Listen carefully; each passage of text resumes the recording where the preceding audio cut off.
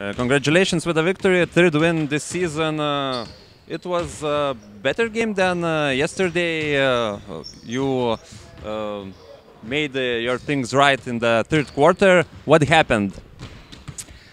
Thank you. Yes, we. It was a tough win, but we needed to win.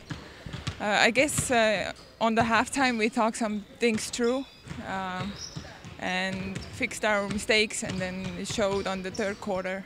And I guess that's why we won.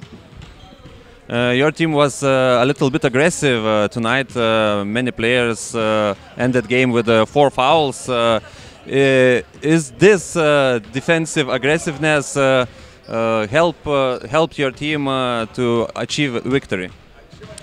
Uh, it might. I'm not sure. I think the refs uh, set the tone how the game's gonna be.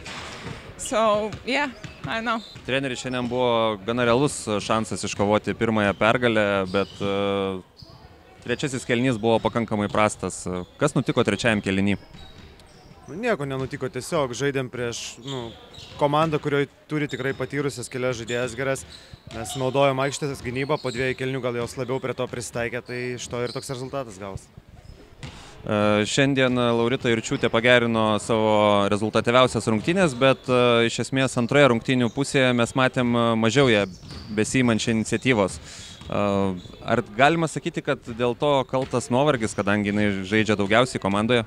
Tai faktas, kad tas prisideda, tuo labiau, kad jinai ir mikrotraumą turi, jai reikia labai didelį ačiū pasakyti, nes jinai su, su, su trauma ateina ir vis tiek padeda komandai, tai o čia, kad jin pavarsta ir tas kre- krenta tas lygis žaidimo, tai natūralu.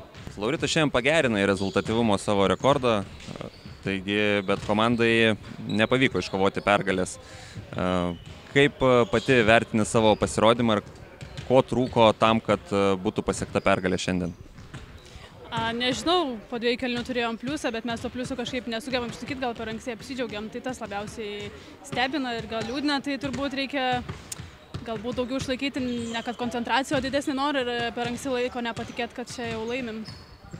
E, Trečiajame kelinyje pralaimėjote 10 taškų skirtumų, tada labiau išriškėjo Karman e, pranašumas po krepšiais. E, Ko trūko tam, kad e, būtų labiau pristabdyta ši žaidėja? Ir Tai turbūt didesnio fiziškumo ir didesnio noro prieš ją apsiginti. Sakau, nes išėjom po dviejų kelnių jau tokios gal atsipalaidavusios ir nebuvom pasiruošusios, kad jos kažkokie, kažkokius pasikeitimus bus padariusios ir galvom kaip tik, kad jos bus galbūt nuslopusios ir panašiai, tai mes nebuvom pasiruošusios prieš ją atstovėti.